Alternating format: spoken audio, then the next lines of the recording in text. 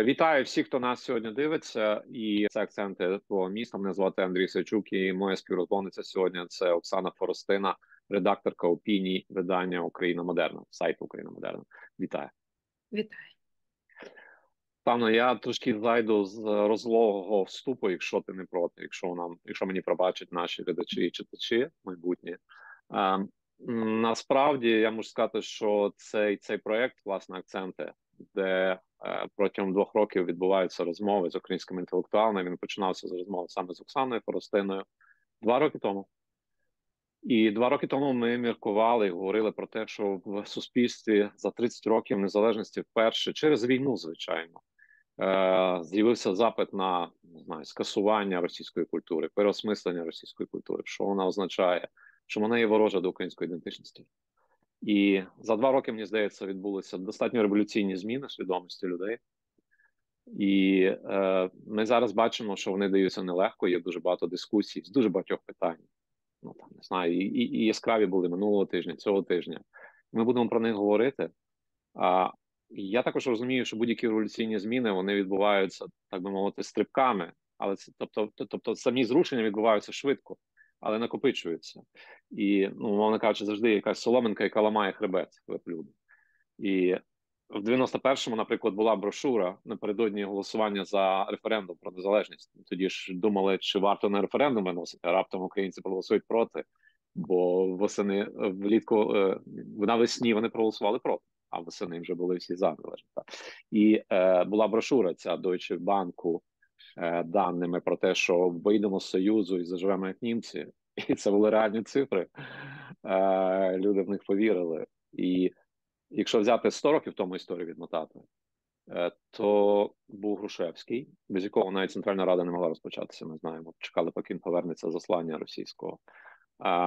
І він написав, але успіх його був в тому, що він написав невеличку брошуру, хто такі українці, що вони хочуть. І у ту брошурку прочитали багато селян навіть тих селян, яких 100 тисяч потім в 17-му році вийшли на, на, на київські вулиці, цілком такого російськомовного міста. І раптом всім стало ясно, що Україна українська, а не мало російська, не російська. І, власне, тепер моє питання, або точніше, навіть не питання, а рамка до розмови. Сьогодні, що би ми мали на увазі під заголовком, хто такі українці і чого вони хочуть?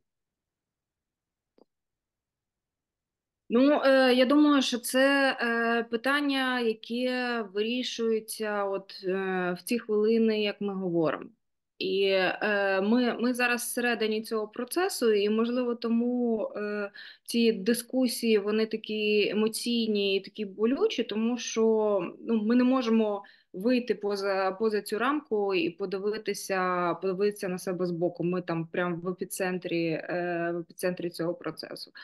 Е, Я, до речі, це дослідження Deutsche Bank, про яке ти згадав. Я його недавно подивилася. Ну тобто, сам сам оригінал, воно дуже смішне насправді. Тобто методологічно вони там просто все на купу поскладали, поскладали. Тобто е, воно воно таке миле е, і наївне, і не дивне, що виявилося виявилося помилковим, тому що, е, скажімо так, не так і, і не те міряли. Слухай, але якщо ми дивимося на там історію 30 років тому, хіба вона не вся виглядає трошки милою і наївною? Ну, як тобі сказати? Я е, я з одного боку не поділяю, і, якщо чесно, дуже не люблю оці всі плачі про жахливі е, бандитські 90-ті, е, ну, в, тому що вони не були насправді ні, ні аж такими чорними. А знову ж таки, я дивилася десь. Не можу знайти перше джерело. За статистикою, насправді, е, вбивств у 80-ті було більше, ніж у 90-ті. Тобто Навіть насправді 80-ті з точки зору там насильства були були страшніші. Е, З іншого боку, е, ну я думаю, теж не слід забувати, наскільки наскільки тоді вже бу, е, все було складно, наскільки е, суспільство було іншим. Ми ж ну прийшли дуже серйозні суспільні зміни. Та? І почасти це ну це була і зміна поколінь. Е, ну тому що тоді тоді вже в 90-х багато людей поїхало. В, ну знову ж таки, в нас порівняно висока смертність, особливо чоловіча е, смертність. Тому насправді в нас ну, оце оновлення суспільства воно відбулося е, доволі, е, доволі швидко.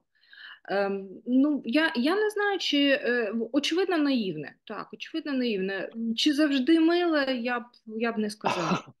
Окей. Е, Власне, про наївність. Я прочитав недавно Володимира Добровського, українського відомого економіста і там учасника Нестерівської групи. Е, І і він написав цікавий пост в Фейсбуці про те, що в цілому, якщо подивитися, весь час е, ну чому помилка заходу щодо України, умовно кажучи, ми знову ж таки відрізняємо зараз захід, Україну відділяємо. Та що Україна якась інша, вона не захід. Та але ми хотіли би бути там, принаймні. Ми хотіли би, щоб колись сказали, ну Україна це теж захід, ну просто десь вже на самому сході заходу, та бути на сході заходу. А в тому, що е, ідея заходу полягала в тому, що ми беремо західні інституції, західні правила. От вам і працюйте з ними. В нас все в нас все супер працює. Але проблема в тому, що є якісь е, правила звичаєві, так. І якщо правила, які є там е, ну, законні, та, тобто які формально прописані, не співпадають з звичаєвими, то звичаєві перемагають. Тобто тоді утворюються неформальні структури. І це те, що ми, в принципі, бачимо в українській державі за 30 років весь цей час. То намагання прищепити якісь інші правила на ґрунт, е, де є інші звичаєві правила і норми. Ну, І от е, зараз, е... так. Ти знаєш, я в питаннях е, заходу і, е, скажімо так, вестернізації, тому що ну там зараз є таке політкоректне слово глобалізація. Мені здається, воно не зовсім чесно в нашому випадку. Давайте говорити чесно, вестернізація. Е, Я взагалі вважаю, що все найкраще, що сталося в Україні, воно сталося завдяки вестернізації. І я під цим маю на увазі не те, що хтось там е, прийшов і завалив там нас ніжками буша, або що хтось хтось приїхав і дав гранти. Я маю на увазі і наше ще прагнення е, зсередині ставати такими, як е, на заході. Тобто хтось поїхав, навчився, повернувся. І я кажу не тільки про останні 30 років. Мені здається, що це впродовж усієї нашої історії, все, що в нас було хороше, воно прийшло з заходу. Це ну в цьому в цьому плані я е, така дуже дуже радикальна і розумію, що багатьом такий підхід е, не подобається. Е, Тобто, умовно кажучи, я там вестернізацію ціную нашу більше ніж так звану автентичність. Е, І е, про цю звичаєвість, я думаю, так це є в цьому рація, і тому е, дуже часто в нас виникає е, ну, таке нерозуміння із західними аналітиками, і західними партнерами, тому що вони дивляться на е, на інституції, підходять дуже формально, знову ж таки, дивлять, як це дослідження Deutsche Bank, та скільки там чого виробляють. А, але насправді дуже мало знають про суспільство, та от як, як е, в нас суспільство працює, що в нас там під капотом. І е, тому я думаю, що е, якщо а якщо дивитися чесно, якими ми були там 30 років тому, 20 років тому, та якщо чесно, навіть і там 7-8 років тому, я думаю, що насправді змі, зміни відбуваються е, з одного боку швидко, а з іншого боку. Е, всі інституційні зміни вони відбуваються рівно настільки швидко, наскільки оновлюється оновлюється суспільство. Тому що ну знаєш, там е, рух е, колони визначає той, хто йде найповільніше. Ну не могли ми там свого часу е, обрати Чорноволу. Ну просто суспільство українське ну не не було до цього готовим. Та Це нам не провина Чорновола. Та е, ну, В те, що там е, Кучма пішов на другий термін, це не тільки тому, що були фальсифікації, не були, але ну, суспільство було таке. Тобто, в нас фактично кожний е, наш президент або там. Провідні наші політики вони були відзеркаленням того, яке яке було суспільство. Ну, зрештою, це є демократія електоральна. Е, питання в тому, знову ж таки, хто такі українці? Е, тобто, чи це є єдина якась спільнота? У нас дуже багато розмов про єдність. Вони вони абсолютно зрозумілі і природні, оскільки українці так чи інакше змушені об'єднатися зараз е, перед ворогом. Ефект прапора знову ж таки існує, але ну, можна по різному по різному трактувати єдність. Е, яка єдність може спрацювати в такій непростій країні, як Україна, де знову ж таки існують різні навіть звичаєві ці норми? Якісь ну якісь регіони є більш вестернізовані вже, так би мовити, з історичною пам'яттю, так інші менше, і, і, і як тут знаходити єдність? Е, ну, е, я думаю, що якраз в цей момент е, це доволі просте запитання. Та? Ми, нас трошки оця простота, вона вона така вона нас покушує. Тобто вона з одного боку дуже трагічна, тому що це це єдність довкола біди, та? це єдність довкола довкола опору. А з іншого боку, вона спокуслива тим, що вона красива. Та, І вона героїчна, і нам здається, що це буде чимось таким сталим. А е, насправді е, ну, почасти цю цю єдність е, власне е, тримає е, тримає і формує сама сама війна, і саме те, що ми зараз перебуваємо в такій екстремальній ситуації на межі існування і неіснування. Е, Насправді питання єдності в нас постане ну так е, серйозне, і це буде дуже серйозний виклик, коли е, оця екзистенційна наша загроза вона е, або або послабне, або там переросте в якусь іншу форму. Так, наприклад, тут як наш колега Євген Лібовицький каже про це існування на фронтирі, та що воно може, що воно фактично нікуди не дінеться, навіть якщо там війна в гарячій фазі закінчиться, а ну, фронтир він все все одно лишатиметься. Е, Тому я, якщо чесно, можу хіба зараз сказати про те, що е, наші інституції державні, хай які недосконалі б вони е, були, вони е, все ж таки для. Ем, для єдності для єдності зробили дуже багато і роблять дуже багато. Тобто, ну, наприклад, таке банальний приклад, як Укрзалізниця. Та з одного -huh. боку, це там збиткова державна структура з цією всією там спадщиною е, кірпи. А з іншого боку, вона, по-перше, працює для. М для єдності країни, для того, щоб ми краще один одного знали. А, І ну я вже звісно не буду згадувати ці там перші страшні місяці, коли евакуація відбувалася великою мірою силою Укрзалізниці. і саме тому, що вона така не приватизована, там з цими всіма інерційними своїми внутрішніми механізмами. Ну купу людей просто було врятовано. Е, ну, тобто, сама наявність державної структури вона вже дуже дуже дуже важлива, і ну і зрозуміло, що це величезна цінність.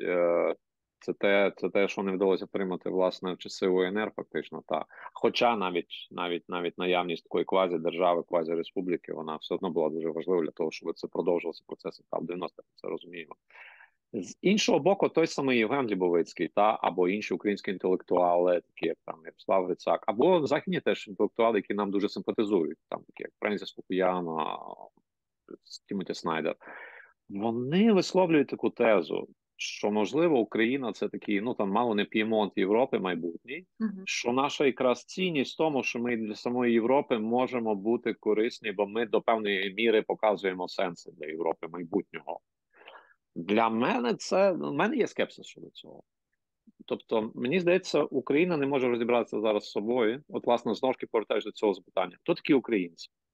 Якими вони мають бути через 10 років, наприклад?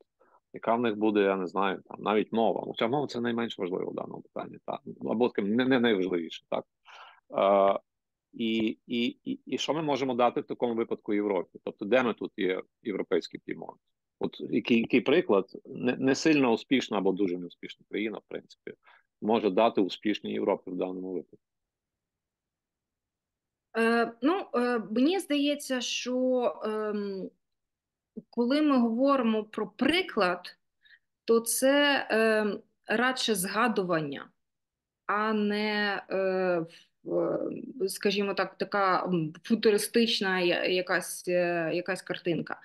Ем, тобто е, мені здається, що європейці великою мірою, коли дивляться на нас, вони е, інтуїтивно, я переконана, що в абсолютній більшості випадків це інтуїтивно. Вони впізнають щось, що вони або не можуть, або е, соромляться, або е, або не можуть це це просто сформулювати, згадують про самих себе.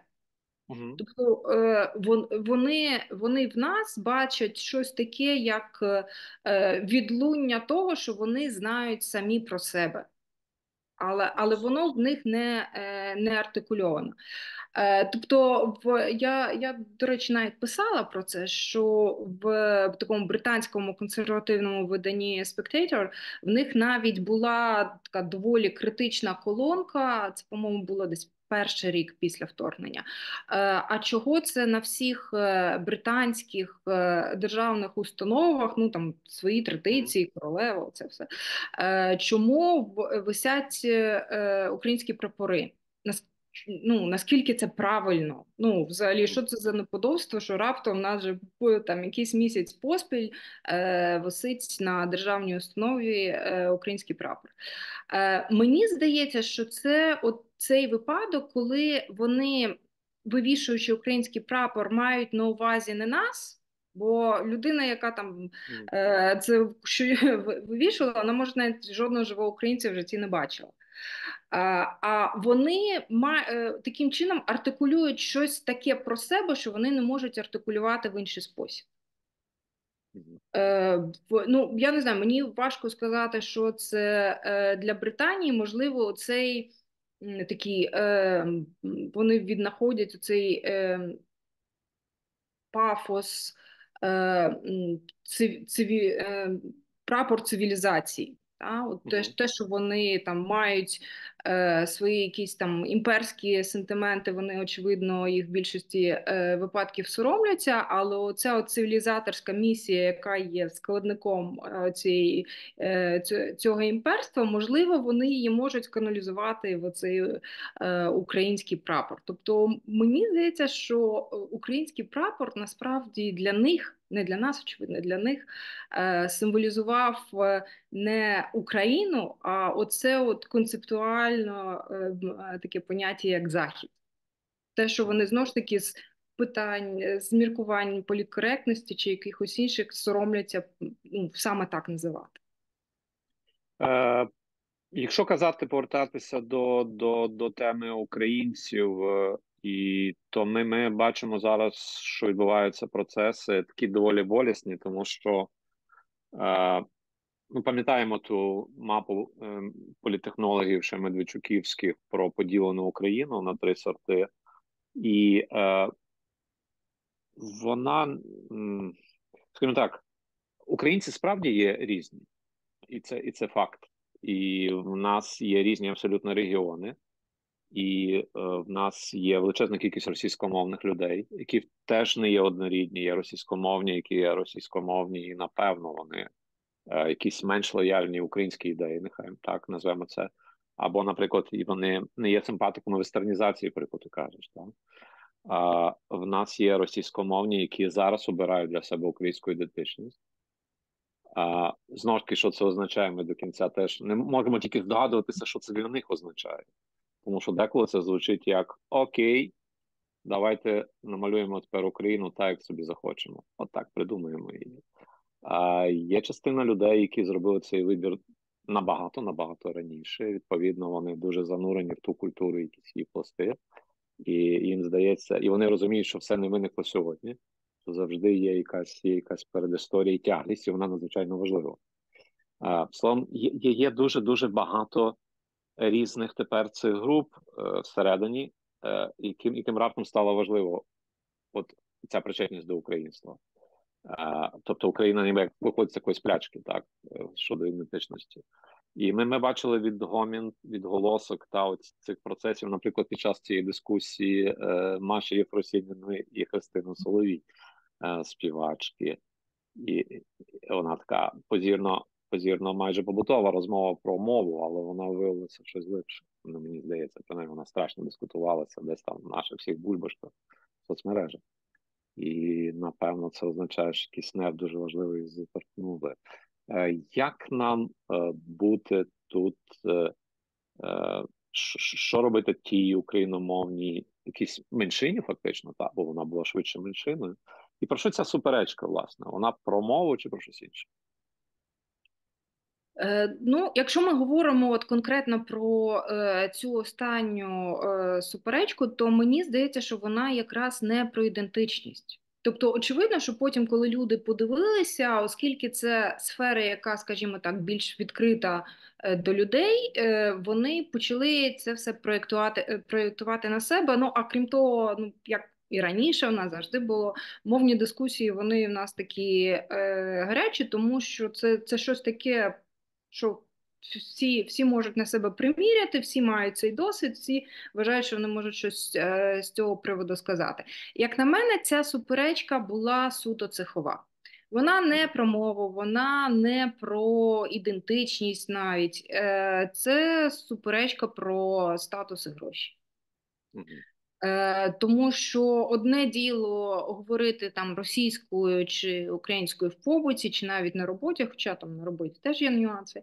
А зовсім інша справа це коли не тільки е, не тільки мова, а й естетичний вибір, який там дуже часто в нас насправді корелювався впродовж е, цих 30 років, визначає, скажімо так ну, життєві життєві шанси, самореалізацію, е, статус е, соціальний, статус е, фінансовий. І насправді ця ця ж вся історія вона, вона про це. Мені видається, що там абсолютно чітко і чесно, там Маша сказала, що ну дивись, ти ж вибрала 10 років бути аутсайдеркою. Ну, Тобто вона вона чесно ж це визнала, що фактично до е, повномасштабного вторгнення це е, був ну може опір це таке заголосне слово, але це mm. бу, е, була весь е, весь час, е, скажімо так. Е, це е, відповідь на, на численні запити на компроміс. Mm-hmm. І і ну справді почасти це там можна було сказати, що ти якщо якщо ти не попса, якщо ти там не москвоцентрична в естетичному плані попса, то ти залишаєшся ну там подалі від е, якихось е, е ресурсів. Тобто насправді йдеться просто про доступ до ресурсу, е, до ресурсів, там починаючи від е, ефірів, уваги, там корпоративів і, і все решта. Тобто це тобто, факти... фактично україномовні і україноцентричні чи європоцентричні українці десь можливо, з кінця 90-х опинилися на такому маргінесі і культурному, і політичному, і фінансовому. Ну, в е, певних сферах так, абсолютно. Ну тобто, на мені здається, що найпромовистіший приклад це, наприклад, сфера моди.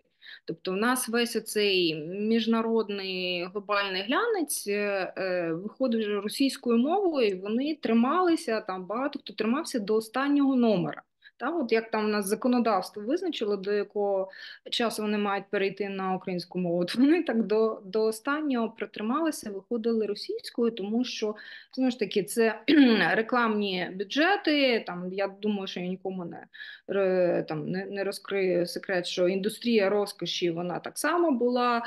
Е, в ну, російськомовною за замовченням, та? тому що був такий ну, якби суспільний консенсус, що все, що стосується е, влади, грошей, престижного споживання, воно має бути російськомовним. Там на навіть Лінгва франка?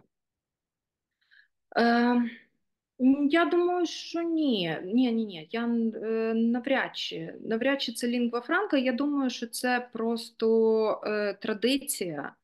Угу. Е, Традиція, і це напевно це, це просто інерція. Я, е, Це почиста інерція. Мені здається, що це поза сферою раціонального великою мірою, і ми зараз це навіть спостерігаємо. Чому я переконана, що це позараціональне? Тому що дуже багато людей, дорослих, угу. е, наприклад, перейшло на українську мову після вторгнення. Угу. Тут люди середнього е, віку і старше, але ми не бачимо цього самого процесу серед дітей і підлітків. Тому що це вони вони це не раціоналізують, вони йдуть за своїм, умовно кажучи, е, інстинктом, який абсолютно природній і нормальний в цьому віці, коли хочеться бути частиною групи, хочеться бути там в цій на горі десь домінантній її частині. Так? Коли оцей вибір бути аутсайдером, про який говорила Маша Альфросіна, він має дуже велику велику ціну, він потребує великих е, великих затрат. Е, ну, Маша казала що й про запит аудиторії. Mm. Чи ти погоджуєшся з тим? З того, що я знаю, так. Тут я думаю, тут вона має рацію. Якщо ми говоримо там до 22-го року, це так. Ну, принаймні, е, ті цифри, які я бачила по е, в книговиданню, що купують, це так. Мій досвід там е, видання книжок, е, коли ми, наприклад, видавали книжку в Yakaboo Publishing, ми видавали книжку Стіва Возніка спеціально ну. е, під його візит до Києва. Він мав виступати, і там продавалася тільки ця книжка російського видання, яке виходило раніше, просто не було вже. Е, ми е, швидко видали український переклад, і приходили е, молоді люди і питалися на русском ні? От в цій історії мені все-таки хочеться задати сакраментальне питання, хто винен, і може його не варто здавати. Але але ну, воно мені все-таки воно мене гризе. І я от намагаюся зрозуміти про цей запит аудиторії. Якщо в нас був би реальний ринок медіа, наприклад, то можна було би сказати, що медіа-менеджери в принципі просто намагалися заробляти гроші на цьому ринку. Але ми знаємо, що всі великі канали були дотаційними, всі великі шоу були дотаційними і абсолютно збитковими. Вони робили це для політичних впливів, для того, щоб в рейтинги мали потрібні меседжі в якісь моменти, які вкладалися. Але чи не було цим також якоїсь певної, якщо не зовсім усвідомленої? То напівусвідомленої політики е, такої русифікації, не русифікації, чи просто тяглості цієї домінації російського через те, що просто власники цих каналів були фактично теж частиною тої російської привільйованої цій країні еліти. Е, ну, я думаю, що скорше за все так, що тут е, була е, почасти це звичка, Почасти, почасти це відповідь на запити аудиторії, тому що очевидно можна було і там досвід е, цих е, кількох е, ем, телеканалів, які були всередині 90-х, Ми пам'ятаємо як плюси, коли починалися, вони були дуже українськими. Як ICTV спочатку було дуже дуже українським. Аудиторія за цим пішла. Так? Очевидно, що можна було, якщо там докласти зусиль особливо в ті е, в ті роки, коли там ще не було інтернету і телебачення мало абсолютно величезний вплив. Очевидно, можна було там українське суспільство, умовно кажучи, українізувати.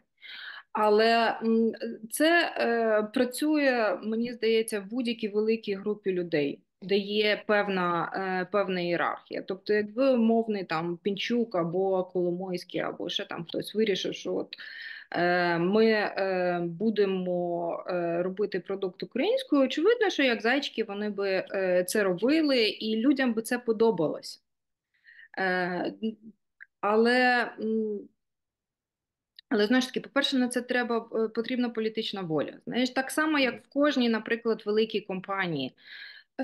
Люди можуть говорити українською вдома, але якщо їхній бос, якщо власник компанії говорить в офісі російською, то очевидно, що поступово люди будуть переходити на російську, тому що це влада, тому що це вплив, тому що не треба очікувати від абсолютної більшості людей якоїсь там е, надприродної опірності і, і героїзму. Це природно для будь-якого суспільства йти за сильнішими і впливовішими е, групами е, групами в цьому суспільстві. Тому я думаю, що це скорше за все е, був.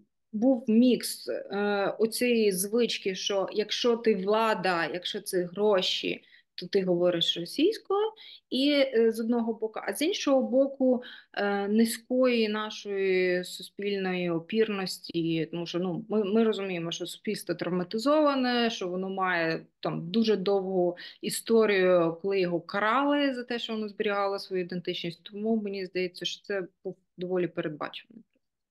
Слухай, я от далекий від таких всяких примордіальних е, теорій і різних е, таких трошки магічних е, концепцій щодо мови теж. І мені от легко уявити собі, наприклад, країну, яка є абсолютно азійська, але при цьому є там автократичною, але україномовною. Mm-hmm. Ну, не знаю, є ж там Узбекистан, там всі розмовляють узбецькою, не російською. Ну, вони від цього не стають там якоюсь європейською країною. Хоча в них там є свої медресе, Улугбек, якась е, фантастична середньовічна історія Ренесансу і так далі, свого такого середньоазійського. І м, зараз нас, власне, умовно кажучи, нові українці, якщо можна таких назвати, mm-hmm. що вони привнесуть? Чи вони е, готові бути українцями в тому сенсі, як це вже уклалося в старих українців? Чи вони будуть цю країну переробляти під себе. От, Тобто, що для нас досі має означати українець? Де ти? Ну, тобто, мені подобається теза Грицака. Грицак про це каже не тільки про те, що це це все-таки якась це, це, це бути українцем це завжди свідомий вибір. І там 200 років тому, напевно, не було українців, в принципі. Тобто, кожен був ще хтось: mm. Русин, Лемко, Бойко якісь е, хтось хтось сказав себе там просто руський, малорос і так далі. Сьогодні що що має означати це, це, це політичне означення України? Той мінімум. Е, ну, я думаю, що нас насправді визначає політична культура, і якщо в нас раніше, скажімо, 20 років тому і трошечки раніше, була е, ну, така дуже очевидна кореляція, це навіть по опитуваннях видно. Е, що е, якщо ти е, говориш українською, то ти скорше за все там проти режиму кучми, та ти скорше за все за про, е, про європейський курс. Е, і і дуже довго це було е, таким передбачуваним чинником. Тобто е, я пам'ятаю часи, коли там говорити українською в Києві, це в принципі було декларацією своєї політичної позиції. Вже на на той час там антикучміської в е, в тому контексті. Е, ми і і так воно більш-менш зберігалося якось рудиментарно е, до 22-го року. Знову ж таки, по-моєму, е, до 22-го року зберігається оця кореляція між там українською мовою і там про, про європейським курсом, підтримкою ринкових реформ, демократії і так далі. Тобто, умовно кажучи, те, що я знову ж таки зі мною може хтось не погодитись, я для себе це називаю там західними цінностями. Е, Зараз це змінюється. Тобто, зараз ми вже не можемо покладатися на. Е, на цю кореляцію, тому що е, в нас оцей російський чинник він кардинально е, змінився, умовно кажучи, за е, цією російською мовою з згрубша вже нема ресурсу. Е, І е, і тому в нас фактично це це вже тепер українська, особливо от з популярністю Зеленського, з цим дуже таким епічним е, перетворенням, з цією епічною зміною. Я без іронії тут кажу абсолютно. Е, В нас е, українська стає мовою влади, мовою істеблішменту. Тобто, навіть якщо вони там да, далі в якомусь спілкуванні перескакують, але ну принаймні в публічному просторі це так. І тому значення цього маркера воно змінюється. І тому я теж я абсолютно можу собі е, уявити там укра... україномовну е, якусь анти, е, антиєвропейську, антизахідну одну партію, яка буде казати, що не треба нам того ЄС, і взагалі в нас третій шлях, і так далі. Тобто воно насправді раніше було. Тобто, це але це був якийсь такий маргінес, та там якісь праві радикали, які насправді дуже багато черпали натхнення в своїх там російських братів по розуму, тобто ці всі язичники і так, і так далі. Е, ця вся історія. Е, Ну і зрештою, в нас і е, в нашій історії давньої такі прецеденти насправді були. Тобто, якщо ми подивимось на цей період між 1905 роком і е, 17 роком на Волинь, то там чорносотена пропаганда російська вона була україномовною.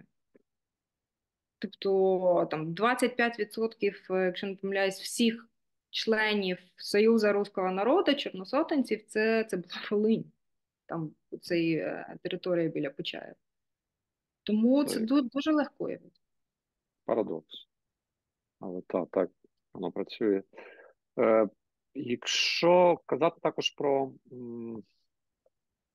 про роль е, Заходу України чи Західної України, зараз кажуть, відмовлятися від цього терміну для того, щоб ось не, не, не робити цього ділення. Але мені здається, що ці кордони, хоча їх давно вже не існує кордонів е, між Російською імперією колишньою, та і там нехай Австрійською імперією, наприклад, вони далі залишаються дуже дуже чіткими саме в якихось е, звичаєвих справах. І чи це є сила, чи це є слабкість України? Е, ну тобто, для мене очевидно, що всі ці 30 років Західна Україна, Захід України. Ну я маю на увазі в першу чергу Галичину і Волинь, напевно, були носіями такої е, еталонної українськості. Нехай там я знаю, зі мною зараз багато не погодиться, можливо, людей. Ну для мене це так. І водночас такої живої прив'язки саме в якоїсь якихось поведінкових норм до якихось європейських цінностей. І ну мені здається, тому і, це дуже добре бачать насправді там е, росіяни, які опиняються в Україні. Ну, я пам'ятаю Савіка Шустер, який казав, що величезний успіх України в тому, що тут є частина території, які які не були не були в Російській імперії, які просто є вже носіями, і вони тягнуть. З іншого боку, ми знаємо, що всі київські влади, майже без винятку, завжди до цього ставилися як до От вічно ви теж от, з вами треба якось рахуватися. Ну тобто, виходить, що, е, скажімо так, українці західні, західної України е, їх, їх уповільнює схід. Схід не може побудувати країну так, як би він, можливо, хотів, щоб вона стала більш монолітною через Західну Україну. Е, це це жива суперечка, і це суперечка всередині родини. Всередині родини. Але е, яка роль Західної України в майбутньому? Чи маємо ми виконати заповіт Франка, умовно кажучи, і, якось розчинитися, врешті-решт, е, в, в Україні великій? Е, ну, я тут хотіла би насамперед сказати, що оці е, межі, які безперечно існували, Бо ну, це це елементарна стежкова залежність, вона доведена там в купі політичних праць, на, наприклад. Тобто, це ну, це, це просто факти. Та? Вона була. Е, Вона розмивається швидше, ніж ми могли очікувати, скажімо, 20 років тому. І е, причина цьому суто технологічна. Тобто, це інтернет. І е, там мені здається, що почасти навіть ці е, експреси, які е, зараз з'єднали з'єднали країну, коли ти там до Києва, зі Львова до Києва вже доїжджаєш за там 5 годин, а не ніч, як, як це раніше було. Тобто, через те, що ми більше спілкуємося, люди більше рухаються. Знову ж таки, війна тому що це це інтенсивний дуже рух між регіонами. Цей, е, Ця різниця вона розмивається швидше, ніж ми могли би сподіватися. Я би тільки сказала, що тут е, що це не ідентичність, що це е, Різна е, різна політична культура насамперед, тому що якщо ми там е, говоримо про якісь суто зовнішні ознаки, там е, традиції, там то де-небудь в не знаю, там, в Черкаській області так само люди розмовляють українською мовою ходять до церкви. Але е, вони мають інший інший досвід взаємодії, та, в, мали мали інший досвід взаємодії насамперед. І і тому ця от е, ем, західноукраїнська е, підірваність це насправді не про там національну свідомість, як нас дуже часто оперували всі ці роки, а це про іншу політичну культуру. Так? Тобто інший інший спосіб реагування на то важливо, це, це, це, це не якісь правильніші українці, а інші неправильні. Але це можливо про про, про політичну культуру, яка яку варто наслідувати. Ну так, я думаю, що це е, варто наслідувати. Звісно, якщо щось трапляється в країні, люди дуже швидко мобілізуються. Тобто, я знову ж таки пам'ятаю, що навіть до до інтернетних, зрубша кажучи, е, часів, коли всі знають, куди треба бігти, в разі чого. Е, ну а що в цьому погано? Тобто я я не думаю, що це щось таке, що треба соромитися, або коли ми про це говоримо, то треба там казати, що от ви там розколюєте країну. Ну тобто, в нас е, країна складається з регіонів, яких е, дуже різний досвід. І зрештою вона в цьому не унікальна. Ну там можна подивитися на сусідню Польщу. В них е, та сама історія, по-моєму, там ще складніше, бо там ще є регіони, в яких оце є пруська така е, культура. Там є є регіони, які так так само, як наші там з Габсбургів, і є знову ж таки регіони, які були під. Е, е Російською імперією, яких між іншим так само була русифікація, про що у нас в Україні не дуже люблять. Якщо подивитися на Австралію, от досвід Австралії, яка дуже успішна країна, там 20 чимось мільйонів, 20, здається, може зараз помилитися населення. Ну там найменша щільність здається на планеті е, населення на квадратний кілометр, і е, цілий материк. Е, при цьому всьому, якщо подивитися на етнічний склад, зараз здається, щось близько 3-4% тільки називають себе австралійськими аборигенами, ідентифікують себе. І е, Натомість абсолютно більшість це англійці, ну, вихідці з Британії, переселенці, і досі вони зберігають цю свою приналежність і ідентифікують себе як англійці. Також є, здається, десь по 10% шотландців, ірландців. Тобто, це все ще ну, умовно англосаксонський світ, як би сказав би хтось е, на схід від нас. Так. Е, також це німці, італійці. Ну, словом, разом це це, це десь 10% під під 60, більше половини цього цей от світ, абсолютно європейський і виразно британський навіть. І і є ще десь близько 40% це люди, які ідентифікують себе саме як австралійці. Це, Я не знаю, чи вони вони, вони себе, е, чи, це є, чи це є люди мішаних шлюбів. Е, і чи, чи для них важливіша саме оця вже приналежність до австралійського континенту і тої, тої держави, яка існує?